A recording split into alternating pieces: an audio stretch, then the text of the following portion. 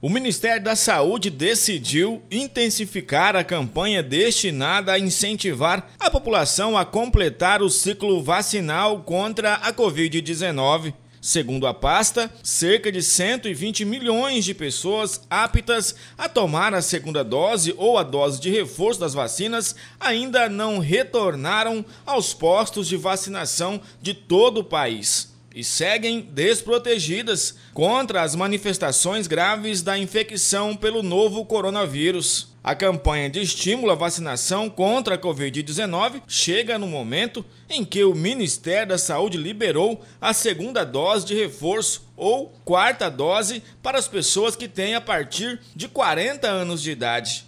De acordo com a pasta, cerca de 8,79 milhões de pessoas desta faixa etária e que receberam a terceira dose há mais de quatro meses poderão retornar aos postos de vacinação. A recomendação é que estes indivíduos sejam imunizados com as vacinas da Pfizer, AstraZeneca ou a Janssen. Segundo Medeiros, o alerta ministerial para os atrasos na aplicação da segunda dose e das doses de reforço visa a proteger a população das manifestações graves da doença, entre a população de 40 a 49 anos apta a receber os imunizantes. Apenas 8,53% já tomou a primeira dose de reforço aqui no município de Rolim de Moura. A nossa equipe de reportagem em conversa com a Janaína Travassos, que é responsável pelo setor de epidemiologia. De acordo com ela, aqui ainda não há vacinas para realizar a quarta dose de reforço